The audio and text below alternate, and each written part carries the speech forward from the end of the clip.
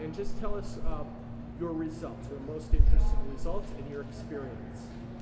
So my experience from um, just this class, or okay, so my experience from this class is um, that when I came in, I was a little baffled, just getting started again um, in the business, and have been in the business for a long time, all my life. But uh, with the results of the of the the Master Series program, um, I'm talking to more people, I'm contacting more people, and most importantly, we're closing more people. We're getting more people involved in realizing their dreams of owning a home again, I mean, the market was a little whatever it was, and now it's just phenomenal. And the realization of what the scripts do for us are is just amazing. We're able to just really put together a whole new belief for people and be able to help families and be able to have belief in myself and, and my team members as well.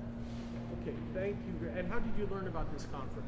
Uh, through my broker we joined up with uh, Pacific Shores, David Babaraki, and uh, it was introduced to uh, Daniel Pendley two days later, and a few days later than that, we were up here and ready to go.